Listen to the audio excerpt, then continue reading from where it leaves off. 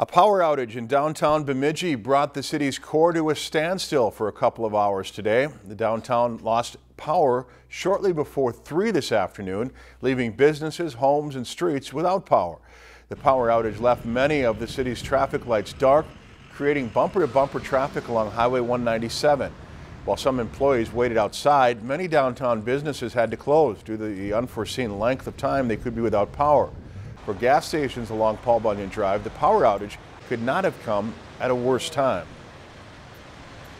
We've, it's a busy time of the day. I mean, you know, from 3 to 6 on Fridays is normally a real crunch time, but it is what it is. People just are going to have to wait till the power comes back on, and hopefully it'll come back on soon.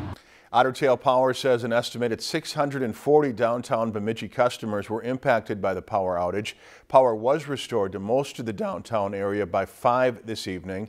The cause of the outage remains unknown.